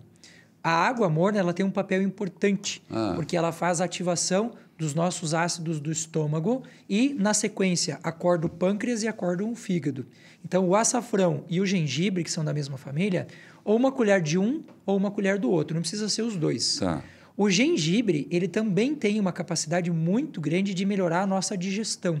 Tá. Porque ele tem várias enzimas digestivas. Tá. A gente vai ver que no interior, quando a pessoa vai temperar carne para aqueles churrascos de, de quermesse, o pessoal mistura ou o gengibre, ou o mamão, ou o abacaxi para deixar a carne mais molinha. Mas mole, o, o, o leite de mamão. Fiz muito isso. Pega aquele boi velho que tá com a carne dura. Hoje tem a baciante da Knorr. Né? Exatamente. Mas lá, e aí? E o gengibre tem enzimas digestivas que melhoram toda essa parte de digestão. Por que, que a gente tem inflamação Abacaxi também se coloca na carne, né? Abacaxi também. É. Tá, mas voltando lá. Por que, que o gengibre é tão interessante? Porque quando a gente faz uma digestão ruim, É. essa digestão ruim, ela, esse substrato mal digerido vai chegar para o teu intestino delgado Tá. e alguém vai ter que fazer isso. As bactérias que fazem a degradação de proteína, chamada proteobactérias. Tá. E elas produzem duas enzimas inflamatórias que você vai gostar do nome. Uma se chama putrescina, a outra se chama cadaverina. Nomes muito Eita! sugestivos. E isso causa... Putrescine cadaverina. Eu tenho isso aqui dentro de mim. Que Deus me abençoe e me guarde. Amém. Ó, gente, todo mundo tem isso. Você tem uma putrescina dentro de você e você tem uma Cadaverina. cadaverina dentro de você. É só água benta na causa mesmo. Só Jesus na casa. E Quando a gente co- consome o gengibre, É. o gengibre melhora muito essa primeira fase da digestão, o que significa que sobra pouquíssima Entendi. coisa para essas bactérias ruins degradarem isso lá no intestino delgado. Ou seja, literalmente a gente mata elas de inanição, de fome. E como que a gente faz? O senhor falou, então vamos voltar a uma colherzinha de pur, cur- é, Açafrão, cúrcuma, açafrão num, num meio, meio copo. copo de água morna. Que hora do dia? Geralmente em jejum de manhã cedo. Primeira coisa que a gente faz. Não escova o dente, não lava a boca, não faz nada. Levanta, faz o jejum, ah, faz o copo de água morna com o açafrão ou com o gengibre e toma em jejum de manhã Ah. cedo. Mas gengibre in natura? É, porque o, o açafrão eu conheço assim. O pó. Mas e, e a gengibre? Faz pó também, mesma coisa. Existe pó para comprar? Sim. Ah, eu não sabia disso, Sim, não. sim. E se for comer in natura? Se for comer in natura, duas rodelinhas do gengibre para uma xícara de água quente. A gente Ah. corta o gengibre bem pequenininho, coloca na xícara, acrescenta água fervendo e tapa a xícara. Esse movimento pode parecer assim de pouca importância, mas na verdade ele traz para a gente aqui uma condição muito interessante. Os óleos essenciais, o gengirol, por exemplo, que sai do gengibre, e ele evapora com água quente, ele condensa na base aqui do pires e cai de volta. Hoje a gente tem óleo essencial do gengibre. Entendi. Eu tenho. Você me permite fazer um- uma propaganda? Imagina, por favor. Eu tenho uma loja virtual na minha, Legal. no meu Instagram e a gente tem lá o gengibre em pó, a gente tem lá o cacau em pó, a gente tem o açafrão em pó. Se as pessoas quiserem, Tá não bom, é vai obrigatório que seja lá. Claro, por favor, tá aí. Fica aí o recado, por favor. E, e esse óleo, é, ele pode, ele substitui o in natura? Ou ele é mais para... Depende. É que o óleo ele tem uma concentração muito maior. Tá, e é para usar onde? Pra usar, pode usar na água, no dia a dia mesmo. Pinga na água e toma. Ah, tá. É para isso. É, se eu quiser uma concentração maior, uma ação mais rápida, eu vou para o óleo essencial. Entendi. Se eu quiser uma concentração no intestino, eu não quero que ele saia do intestino, o in natura é bem melhor. Muito melhor. Perfeito. Mas sempre de manhã? Não pode ser outro horário? Pode. Pode ser antes do, do café ou antes do almoço. À noite não, porque daí ele vai afetar o sono. À noite não é Entendi. legal. Gente, tá aí, ó. Olha que assunto maravilhoso. Nossa, isso aí vai. Só que o senhor já vou, já vou. Equipe, já, como a agenda dele é puxada, você já marca daqui para ele voltar, porque eu tenho certeza que esse podcast vai surgir tanta, vai surgir tanta pergunta que aí o senhor vai ter que voltar aqui para continuar. Será um prazer. Doutor, é, eu vou fazer uma pergunta. Agora, se quiser responder mais rápido, que eu sou. O senhor viu que eu vou perguntando e não paro nunca. Está um modismo sobre creatina. Sim. Da mesma forma que eu sigo, porque eu, eu, sou, eu sou fução. Eu, eu gosto de fuçar as coisas. Não gosto só na filosofia, teologia. Eu gosto de saber de tudo, porque eu trato com o ser humano inteiro. Concordo. E o, o ser humano não é só espírito, é afeto, é, é afeto, emoção, é também físico. Uma moda da creatina, o que o senhor tem a me dizer sobre? A creatina hoje, dois suplementos que a gente estuda no mundo, é o suplemento mais estudado e que a gente mais tem referência científica sobre ele. O que, que a creatina faz? A creatina ela tem várias funções no nosso corpo. A, a função principal é fazer com que a energia que a gente gastou, hum. lembra daquela história do, do oxigênio que perde um elétron e tal? A creatina ela participa do processo de reformulação daquela energia. Então, uma coisa que o corpo levaria horas para fazer, com creatina a gente faz em tá. minutos. Então, para a questão muscular, é muito boa, para a energia, é fantástica. Para a é, proteção do cérebro, é incrível. Hoje, todas as doenças neurodegenerativas já têm a creatina como protocolo de tratamento na. Sério? Todas, Estamos... sem exceção. Que coisa, doutor. Todas. Fibromialgia também. A, tu, as doenças que nós temos, como endometriose, problemas intestinais. A creatina é simplesmente incrível. Quanto à indicação, zero, porque o corpo produz, né? Mas, calma, zero. Zero. Não pode. O pessoal diz que pode. creatina dá cálculo nos rins. Não, não dá. Quando a gente vai pensar a questão da creatina, a gente tem que pensar assim, ó. Existe um exame que é feito de creatinina. É. A creatinina aumentada lá no rim, quando a gente vai fazer o exame de urina, ela indica que esse rim não está funcionando direito. Tá. Mas a creatinina e a creatina são coisas diferentes. A creatinina é um processo que o, que o próprio rim usa, ele vai pegando creatina para poder funcionar melhor, degrada e aparece lá no exame de urina a creatinina. Tá. Por que, que a gente trabalhar com produtos naturais é muito interessante? Se eu dou o magnésio, a vitamina D, se eu dou a creatina, glutamina para a pessoa e o corpo Opa, não apareceu precisa... outra palavra, glutamina. Depois nós voltamos, vai. Sim. Se o corpo precisa, ele vai lá no intestino e pega. Se ele não precisa, vai embora. Por isso que quando a gente está suplementando uma pessoa, a suplementação não é para qualquer um. Se eu não estou precisando, eu estou jogando dinheiro fora. Entendi. A pessoa faz atividade física, come bem, ela precisa de creatina? Não. Se ela faz um, uma atividade física muito além da média, aí ela vai precisar, porque ela passou do teto dela. Aí é hora de suplementar. Então eu sempre falo para as pessoas assim: não suplemente aquilo que você não precisa. Se você precisa, usa. Agora, se eu pego um produto químico, um remédio, como você falou agora, que causa a, o problema lá no fígado, né? o câncer de fígado aquele remédio o corpo não tem defesa. Entendi. Se você consumir 10 cápsulas dele, você vai absorver as 10 e ele vai te fazer mal. Simples assim. Então, o natural, ele não tem efeito colateral tão intenso porque o corpo pega só o que precisa. Você falou glutamina. Para que serve a glutamina? É um outro aminoácido extremamente importante. O nosso sistema de defesa usa como fonte de alimentação para as células do sistema de defesa, essencialmente a glutamina. Então, 97% do que o sistema de defesa, o sistema imune precisa para funcionar é pura glutamina. Outra coisa que a glutamina faz, ela participa da formação de vários hormônios e neurotransmissores. Por exemplo, a pessoa quer dormir melhor. Para dormir melhor, ela precisa aumentar a quantidade de GABA. O GABA é um, um ácido amino-GABA butírico que tem como base a glutamina. Faltou glutamina, não adianta tomar clonazepam e remédio para dormir, porque você simplesmente não tem substrato para o corpo funcionar. Doutor, mas quando o senhor fala em glutamina, em creatinina, eu, creatina, eu tenho, creatina é, o senhor está falando da pessoa tomar aquele escopo? Isso mesmo. É disso que o senhor está falando? Só isso. Então, qual o jeito certo de tomar creatina? Os estudos mostram hoje que uma pessoa adulta, em torno de 80 quilos, mais ou menos. 80 quilos, é, tá. A gente vai pegar uma referência de 80 tá, quilos, tá. que é a tá. média ela tem cerca de 197 gramas de, de, de creatina no corpo, estocada nos músculos e no fígado. Se ela faz atividade física, ela baixa esse estoque. Se ela tem uma, um, sei lá, bebe, ela baixa esse estoque. Se ela usa droga, ela baixa esse estoque. Então, na média, a gente usa 3 gramas de, de, de creatina por dia para repor esse estoque. Uma pessoa que faz muita atividade física ou alguém que está passando por um problema de câncer, por exemplo, e está gastando muita creatina, eu posso chegar até 10 gramas por dia. Mas aí tem que ser com indicação de um profissional. Entendi. Um médico, um nutricionista, um farmacêutico. O, a glutamina vale o mesmo princípio? Vale, só que a glutamina tem horário para fazer a suplementação.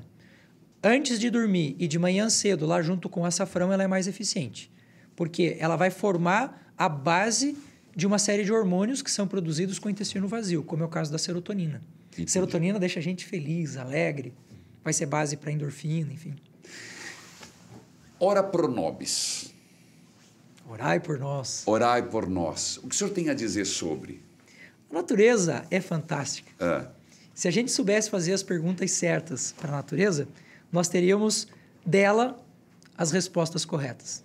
A minha tragédia hoje, eu acho que É. uma das coisas que mais me afetam negativamente é ir para o interior, é ir para uma pessoa, pra um lugar que a pessoa tem um vaso, tem um gramado, tem um lugar para plantar e ela não ter plantas medicinais lá. Isso me Sério? deixa coisa que os nossos pais, nossas avós tinham, né? A, a hortinha e o lugarzinho da. O lugar, vamos dizer. Obrigado, o obrigado, lugar, obrigado, obrigado. O lugar que tinham as plantas medicinais. Eu lembro da minha avó, da minha nona, tinha alecrim, tinha. É, ora pronobis Manjerona. manjerona, Salsinha. tinha poejo, tinha todos aqueles remédios que faziam chá pra gente. Sim. Não é? E o Ora Pronobis é a mesma coisa. Em termos de fonte de proteína, por exemplo, ou do poder cicatrizante que ele tem para doenças intestinais, o Ora Pronobis é simplesmente incrível. Porque ele tem uma quantidade de proteína muito grande, uma quantidade de minerais muito grande, ele é uma planta perfeita, ele é uma planta muito completa. Existem várias ah, espécies de Ora Pronobis, inclusive tem vídeo meu no YouTube mostrando isto, e, existe, e, e todas elas são comestíveis, só que algumas a gente precisa cozinhar porque elas têm oxalato de cálcio que forma pedra no rim. Ah. Então, cozinhou ela, você tem uma planta incrível em casa, em todos os sentidos. Olha que interessante. Melhora sono, melhora a parte de colágeno do corpo, a pele fica mais bonita, a musculatura fica mais forte. Qual a origem da Ora Pronobis? Ela é uma planta asiática que se adaptou muito bem ao Brasil e hoje, em qualquer canto que você plantar, não conheço um lugar no Brasil que, não, que a Ora Pronobis não dê. Doutor Júlio César, nós temos aqui um quadro, e eu estava tão empolgado que até me passou eh, ao longo de toda a nossa conversa. Para quem você toca o sino? Para quem você tocaria o sino? Alguém da tua vida, alguém que passou por você, que você toca e comenta. Sim, tem Tens o sino. um cara que fez uma brutal diferença na minha vida. Brutal diferença. Pode ser para dois, né? Pode, dois, ser- três, à vontade. Dois caras que fizeram substancial diferença na minha vida. Um, quando eu saí do seminário é, e terminei a filosofia sozinho, eu atrasei as minhas mensalidades e ia sair da universidade. Tá. E chegou de manhã cedo, eu cheguei para a aula, a secretária me disse: Olha, infelizmente você não pode ficar mais. Ave Maria. E eu disse: Me deixa assistir só a aula de hoje. Ela é tão boa, eu gosto tanto. É uma aula sobre Kant. Kant é um cara áspero. Fantástico. E no final da aula, ela veio e me disse de volta: Você pode ficar, que alguém pagou as mensalidades para você. Você está brincando. Não, é verdade. Olha. E eu só soube quem era esse cara no dia da minha formatura. No dia da minha formatura, Deus, ele me disse. agora, hein? É, ele me disse: o investimento que eu fiz em você valeu a pena. Então, esse é um dos princípios que eu uso para minha vida. Eu ajudo tanto as pessoas por quê? Porque eu gosto, porque isso me faz bem, mas eu tenho uma dívida moral, ética com essa situação. E a segunda pessoa que fez uma, uma diferença brutal na minha vida foi o meu professor de acordeon. Peraí, mas você, to- você falou, mas não tocou o sino. Quem é essa primeira Ah. pessoa? Ele não gosta que eu fale o nome dele, mas ele sabe quem ele é. Então, para ele, com certeza, Ah, você não vai dizer? ah, ele pede que não, não, não se identifique. Mas só para nós aqui no podcast? Não pode. Tá Não bom. Eu prometi que eu não ia fazer isso. Você viu que ele é bravo, né? Ele fala, Sim. não, não dou o chazinho. A segunda, A segunda pessoa. então escolhe um que você vai falar o nome, né? Tá, vou falar. O meu professor de acordeon foi uma pessoa que fez uma diferença brutal na Você minha toca vida. acordeon? O Assim. que você não faz na vida, cara? Brinco. Pelo acordeon. amor de Deus, vai lá. Esse cara para mim foi uma referência muito grande, porque lembra da história do acidente? Sim. As duas coisas que eu disse no acidente foram: Nossa Senhora, a segunda foi meu Deus, eu nunca Eu mais vou vou tocar, tocar violão. violão. E isso me colocou numa deprê muito grande, muito grande. E esse cara me resgatou. Ele falou: "Eu vou te ensinar". E ele fez uma coisa por mim que eu acho que todo professor deveria fazer na vida. Como eu não tenho esse dedo da mão esquerda, Anota o a teclado Ré, como é que ficaria, né? Dó- E aí? É, é, é complicadíssimo tocar sem ele, É. né? Só que a gente usa no acordeão basicamente três dedos. Tá. Eu adaptei esses três para esses três. Para me dar aula, ele amarrava o dedo dele para ele pensar Meu como eu. Deus do céu. Esse cara me impactou. O dia que ele fez isso, eu falei: "Nossa, cara, esse cara, João Pedro Teixeira vai para você Ô, louco. o meu tocar o sino de hoje". Chega a ser emocionante. né? É.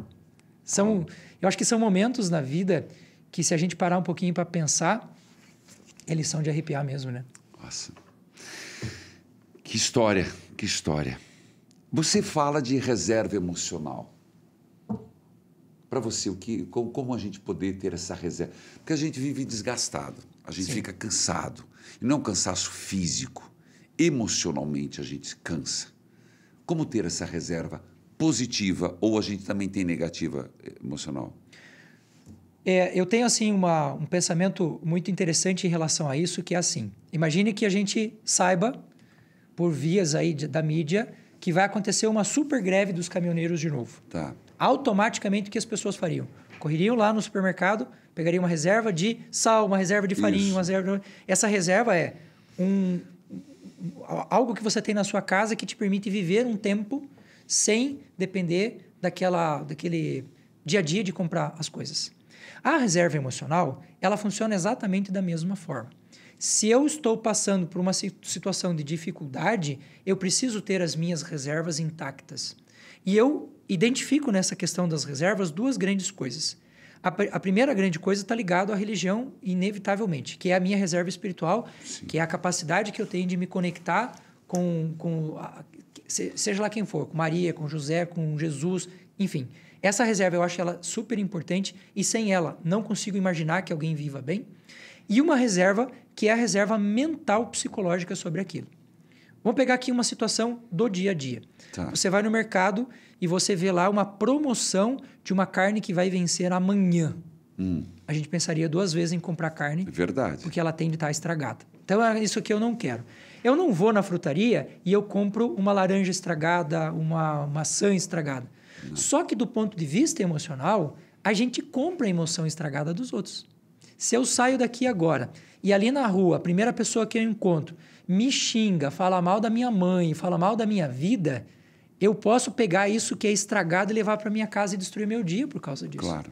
Então a minha reserva emocional é a capacidade que eu tenho de me blindar contra essas coisas. Entendi. Eu sempre falo para as pessoas para elas pensarem da seguinte maneira: quando elas estiverem diante de uma situação como essa, Perfeito. Não escute o que a pessoa está te falando, e sim perceba quem está te falando. Hum. Por quê? Se é uma pessoa que está mais evoluída do que eu, meu professor, uma pessoa iluminada, e ela me fez uma crítica, como diria Epicteto, lá o filósofo, se alguém fala mal de ti e aquilo que fala de ti tem razão, você não tem por que ficar bravo. Você tem que se corrigir. Certo. Então, se eu estou vendo que é alguém mais iluminado do que eu e ela e tem um sentido dela estar tá falando aquilo, eu não tenho por que ficar bravo. Olha Epicteto de novo. Se a pessoa está falando alguma coisa de você que não tem sentido nenhum, também não tem por que ficar bravo, porque é ridículo.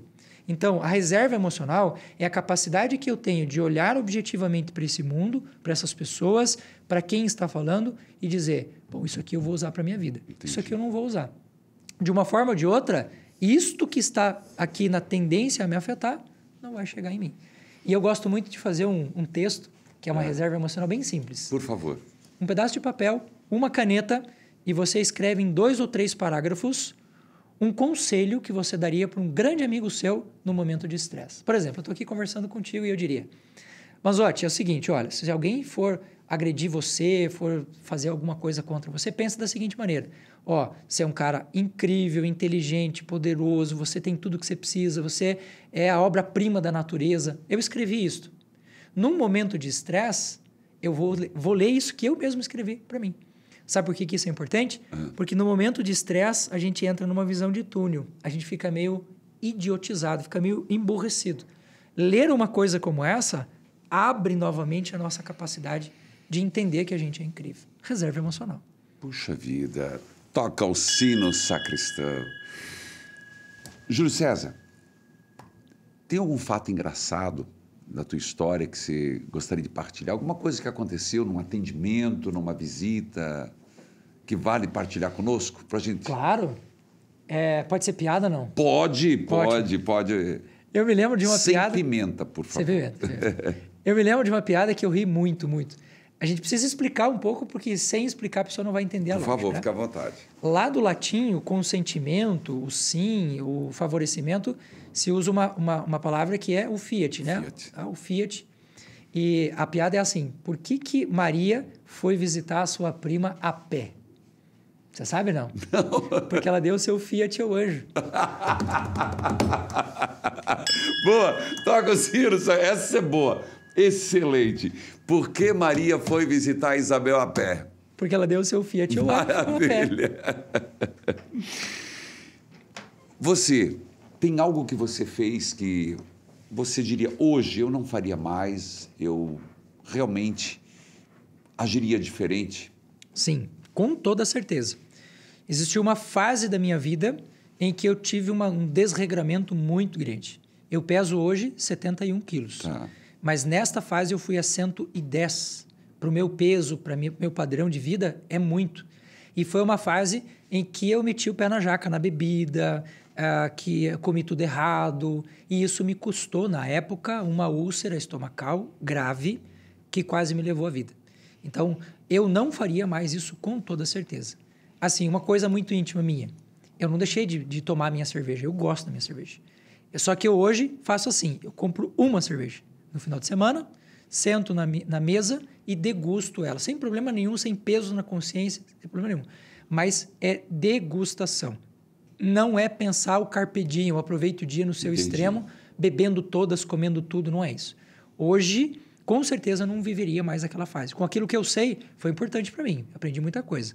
Mas com o que eu sei hoje, essa fatia da minha vida não viveria mais dessa forma, com certeza. Obrigado por partilhar conosco. Para finalizarmos, alguma consideração que você gostaria de fazer? É, algo a acrescentar? Eu vou falar meu lema de vida, que eu acho que ele sintetiza um pouco de quem eu sou. Meu lema de vida diz assim: ensine tudo aquilo que você sabe sem reservas. Não guarde nada para você. Pratique tudo aquilo que você ensina para que você seja na, na sociedade aquilo que você quer ver na sociedade. Muito obrigado. Gente, é um prazer. Nós tivemos aqui e, e, e eu teria muito mais. Eu passaria horas e horas aqui, mas já assumimos um compromisso de um seu retorno, por favor. Com certeza. E obrigado pela sua entrega no podcast, pela sua colaboração imensa. E você, procure nas redes sociais, acompanhe YouTube, arroba Júlio Luckman, como está escrito no seu visor, Instagram, arroba Júlio, Júlio Luckman e também no TikTok, no Quai. Acompanhe, dê boas risadas e tenha ótimo conteúdo. Vamos fazer um brinde aqui com água. Saúde. Deus abençoe. Amém. Toca o sino, sacristão. Até a próxima.